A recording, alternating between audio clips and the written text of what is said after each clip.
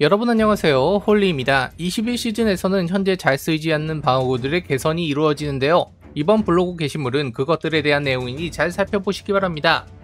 일단 들어가기에 앞서 모든 경이 방어구는 특별한 문구가 없는 이상 기존 능력을 유지하면서 추가되는 형태이기 때문에 꼭 유념하시고 보시는 게 좋을 겁니다 일단 첫 번째로 헌터 봉인된 아함카라 손아귀는 근접 능력으로 적을 처치할 시 모든 무기의 탄창을 재장전하고 근접 공격으로 적에게 피해를 주면 5초 동안 이동 속도와 점프 높이가 증가합니다. 아스리스의 포용은 경이방어구의 추 달린 칼 데미지 buff를 활성화한 상태에서는 추가적인 힘 능력치 보너스를 갖습니다.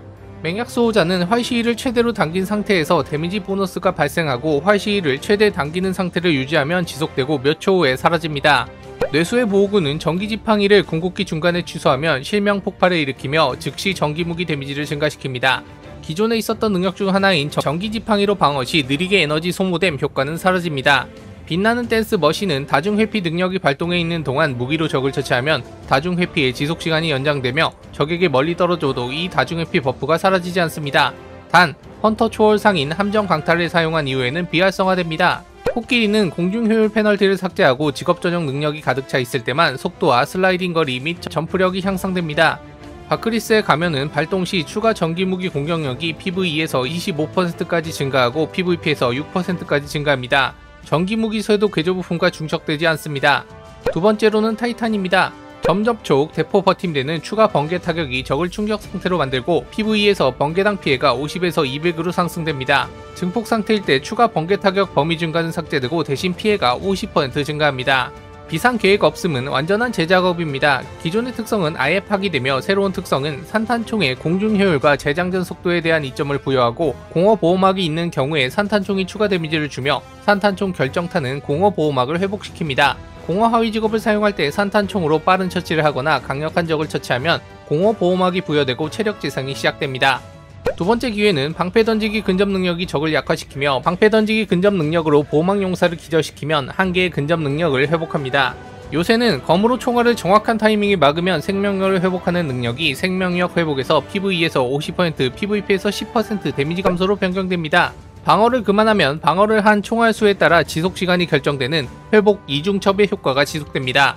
영겁의 전사는 전기 무기를 사용해 적을 빠르게 처치하면 4단계 중첩 보너스를 제공하고 4단계일 때 PVE에서 25%, PVP에서 6% 데미지 보너스를 획득할 수 있습니다. 4단계일 때도 전기 속성 kill을 하면 지속 시간은 계속 새로 고침되고 대혼란의 주먹을 종료할 때도 4중첩 보너스를 갖습니다. 케프리의 뿔은 맞은 대상을 소각시킵니다. 불타는 걸음의 길은 데미지 증가 효과가 4단계 중첩 보너스를 제공하고 4단계일 때 PVE에서 25%, PVP에서 6% 데미지 보너스를 획득할 수 있습니다. 4단계일 때도 태양 속성 kill을 하면 지속 시간은 계속 새로 고침되고 얼어붙으면 즉시 4단계 데미지 증가 보너스를 얻습니다. 사막 행군병은 연쇄 번개의 데미지 범위가 20m에서 12m로 하향 조정됐으며 PVP에서만 데미지가 85에서 50으로 감소하였습니다.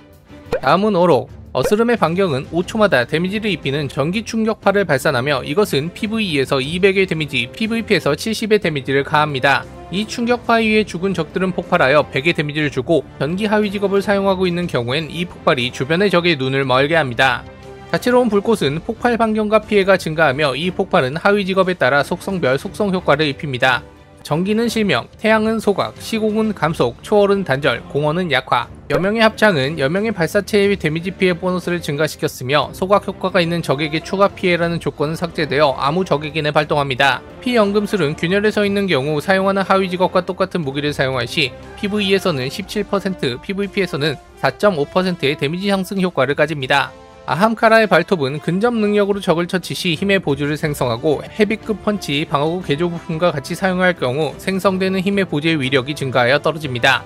전투화음의 외투는 궁극기가 완전 충전됐을 때 데미지 보너스를 제공하며 데미지가 20에서 25%로 증가했고 PVP에서는 15에서 6%로 감소했습니다. 이 데미지 buff는 각 속성 무기 쇄도 개조 부품과 중첩되지는 않지만 강화 균열 및 유사한 피해 보너스와는 중첩됩니다. 피해 보너스 지속 시간이 PVE에서는 6초에서 10초로 PVP에서는 3초에서 5초로 증가했습니다. 뱀의 용모는 근접 공격 거리 증가를 삭제합니다. 프로메튬 박차는 모든 태양 무기로 적을 처치 시 균열 에너지가 회복되고 균열 안에 서 있는 동안 태양 처치 시 더 많은 균열 에너지를 회복합니다. 하위 직업이 가득 차 있을 때 처치한 대상 아래 균열을 깔고 싶다면 균열에 서 있는 상태에서 적을 처치해야 합니다. Starfire Protocol은 강화된 피해를 줄 때 회복되는 수류탄 에너지 회복량이 20에서 2.5%로 감소하고 강화된 무기로 결정타를 날리면 수류탄 에너지를 20% 회복합니다. 몇 개의 방어구를 제외하면 모두 buff를 먹은 것이 되고 이것으로 여러가지 방어구를 사용할 만한 상태가 될 듯 보입니다. 아직까지 애매한 것이 보이긴 하지만 계속 수정해 주길 바랍니다. 영상은 여기까지이며 마지막으로 구독, 좋아요, 알람 설정, 댓글 잊지 마시기 바라겠습니다. 바이바이